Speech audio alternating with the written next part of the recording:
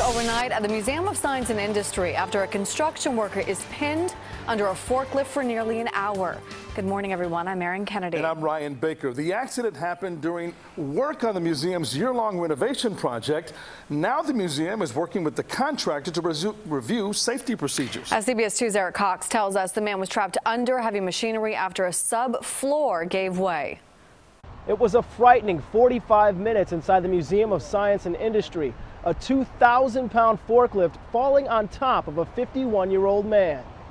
And the forks were through the gentleman's arm. Chicago Fire Chief of Special Operations Tim Walsh tells CBS 2 he was one of 40 first responders at the museum Monday night.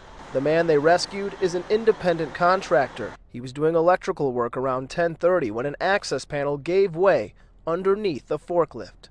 The subfloor had given way. They were trying to lift that electrical vault out with the forklift, and it tipped and pinned the man below it. Pinned with at least 2,000 pounds on top of him. Chief Walsh says paramedics gave the man pain meds, keeping him awake and alert throughout the entire ordeal.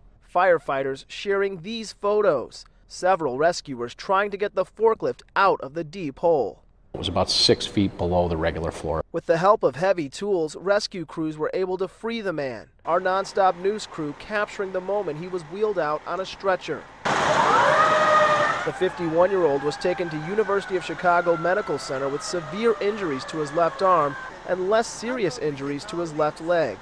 Chief Walsh says he should be okay and isn't expected to lose a limb.